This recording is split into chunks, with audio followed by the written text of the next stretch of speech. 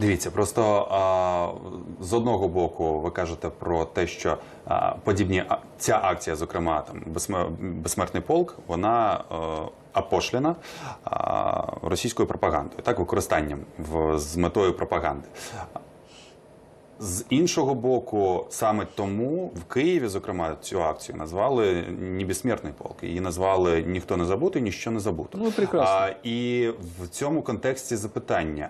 А, ми, ми, ж- ми, ми ж пам'ятаємо, там і Зеленський сьогодні заявляв, що Росія не, прива- не, не повинна приватизувати перемогу, тому Как- що це як і була, русский язик. це була спільна перемога а, всіх народів, які на той момент жили в радянському Мало Союзі. того, почему-то украинцы никто не вклад говорит, больше, так. да, да, мало того, почему-то никто не говорит, какой вклад в эту победу внесли американцы и англичане.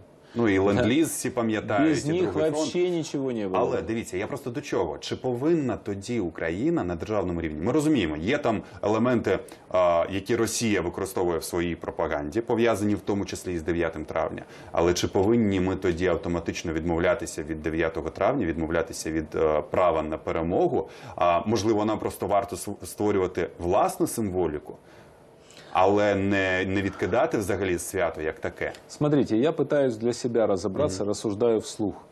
Я привык с детства праздновать День Победы 9 мая. И я его продолжаю праздновать 9 мая. А Европа, э, ну, капитуляция была подписана 8 мая, да, и Европа празднует 8 мая. 9 мая мы празднуем, потому что 8 мая вышел э, у- указ Сталина, опубликованный в газетах, что 9 мая объявляется, следующий день объявляется Днем Победы.